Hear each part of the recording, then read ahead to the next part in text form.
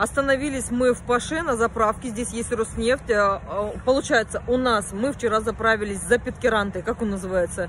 Какой-то поселок. В общем, мы там заправились. Оттуда... У меня что, прыщ какой-то?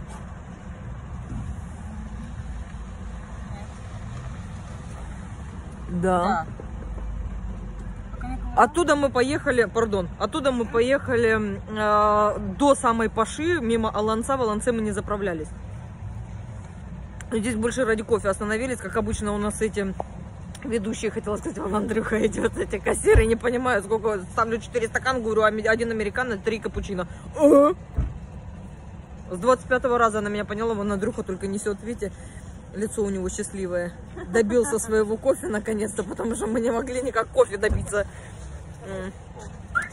Сколько у тебя пенки, Андрея? Аж вываливается. Все, сейчас попьем, да поедем дальше. На улице холодно, но я не надеваю комбинезон, потому что... Почему я не надеваю комбинезон? Потому что снимать его сложно.